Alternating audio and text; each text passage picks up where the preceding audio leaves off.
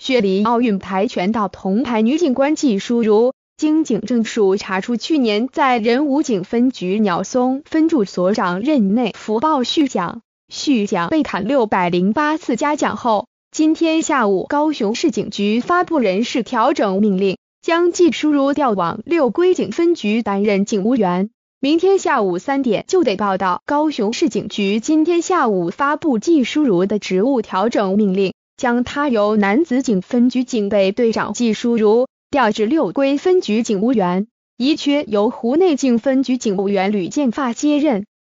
私自将季淑如违纪惩处案公文外传的交通大队警务员唐文华也被调往湖内警分局任警务员，一缺由六龟分局警务员方长燕接任。奥运跆拳道铜牌女警官季淑如福报续奖，高雄市警局今发布职务调整命令，将他调山区六龟警分局警务员，明天生效。图记输入提供分享。